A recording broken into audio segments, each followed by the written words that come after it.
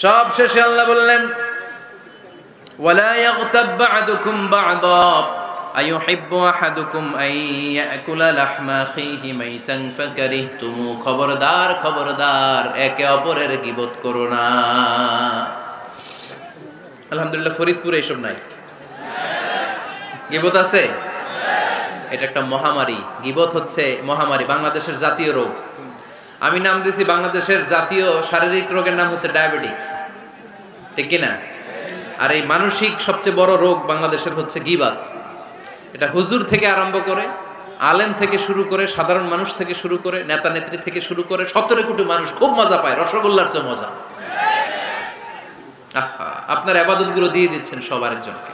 যার ব্যাপারে আপনি গিবত করতেছেন, আপনার হজ কষ্ট করে মিনায় ধাক্কাধাক্কি করে যে হজটা করছেন ধাক্কাধাক্কি করে হাজরা আসওয়াদের চুমুটা দিয়েছেন আরাফাতের ময়দানে চোখের পানি ছেড়ে যে কান্নাটা করেছেন, এই সব সবগুলো আপনি তার আমল নামায় তুলে দিয়েছেন। গিবত করে, চগল ঘুরি করে তার কথা আরেকজনের কাছে লাগিয়ে, ওর কথা আরেকজনের কাছে লাগিয়ে, এই যে সমাজে গিরিঙ্গি লাগালেন আপনি, এই যে সামাজিক ভারসাম্য রক্ষা করলেন, আপনার সব আবাদতগুলো আল্লাহ ভাগ করে ওদের আমল নামায় তুলে দিয়েছে। খবরদার, মরা ভাইয়ের গোস্ত খাওয়ার চেয়ে বড় অপরাধ।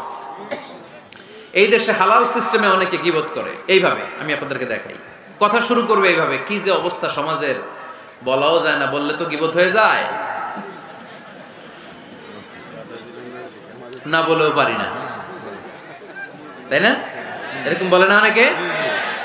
বললে তো কি হয়ে যায়? হ্যাঁ? বললে যদি গিবত হয়ে যায়, তাহলে স্টপ এতটুকু যেহেতু বোঝেন যে বললে গিবত হয়ে যায়, তখন স্টপ। আওয়াজ করে বলেন, তখন? স্টপ। মেরাজ রজনীতে বিশ্বনবী দেখলেন, রিজালান কিছু লোক, লাহুম আজফারুন মিন নুহাস, তামা দিয়ে তৈরি আঙ্গুল। এই আঙ্গুলগুলো দিয়ে তারা উজুহাহুম ওয়া সুদুরাহুম, নিজেদের লোহার আঙ্গুল দিয়ে, তামার আঙ্গুল দিয়ে, নিজের গালের গোশত, নিজের বুকের গোশতগুলো টেনে টেনে ছিঁড়ে ছিঁড়ে খাচ্ছে। বিশ্বনবী বললেন, জিব্রাইল মানহুম ইয়া জিব্রাইল ও জিব্রাইল, আমাকে তুমি বলো, এরা কারা? সাইয়েদনা জিব্রাইল বললেন, হুম আহলুল গীবাতি মিন উম্মতিক। আপনার উম্মতের মধ্যে যারা দুনিয়ার বুকে গীবত করত, এই লোকগুলো হলো তারা। চায়ের দোকানে এগুলো খুব চলে। এর কথা ওর কানে, ওর কথা এর কানে এরকম একটা গিরিঙ্গি লাগায়। আছে না নাই? এগুলো করবেন? গিবত কাকে বলে? যিকরুকা আখাকা বিমা ইয়াকরাহ। সহি হাদিস। তোমার ভাইয়ের ব্যাপারে এমন কথা বলা যেটা শুনলে তার অনুপস্থিতিতে এমন কোনো কথা বলা যেটা শুনলে সে মনে কষ্ট পাবে।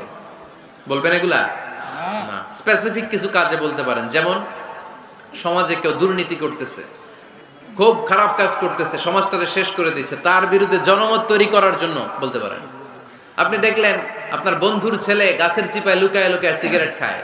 আপনি তার আপনার বন্ধুকে যে বলতে পারেন তোমার ছেলের এই দশা তোমার মেয়ের এই দশা। এগুলো তো গিবত হবে না।